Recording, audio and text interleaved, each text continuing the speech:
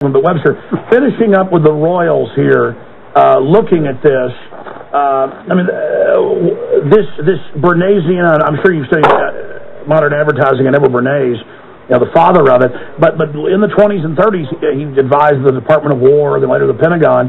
He said, look, Royals are unpopular, politicians are unpopular. You have big gala events that are seen as very elite. You have the media cover it, radio and and, and print, and then uh, uh, uh, newsreels in the theaters, later TV, and then you get all of the movie stars and sports stars together with the politicians. You have the politicians hosted, so everyone is bowing to them.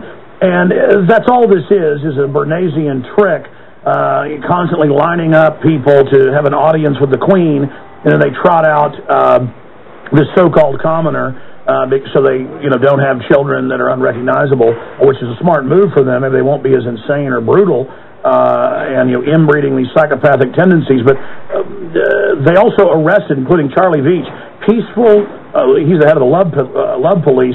Folks that were going to just demonstrate against the wedding. So that shows your freedom in England. Uh, they had a sweep the last two days, picking everybody up who'd even criticized the wedding.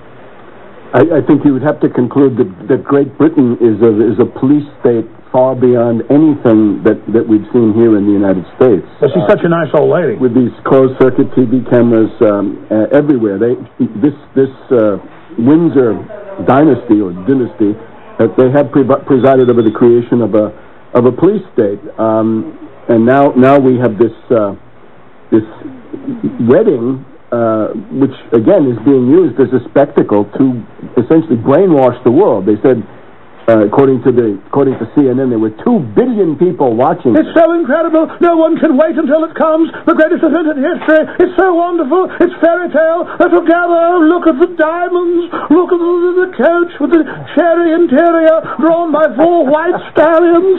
This is absolutely the height of culture. A bunch of inbred psychopathic killers up there uh, who run around at cocktail parties wearing Nazi uniforms uh, one of the princes. Uh, I mean, it just goes on and on.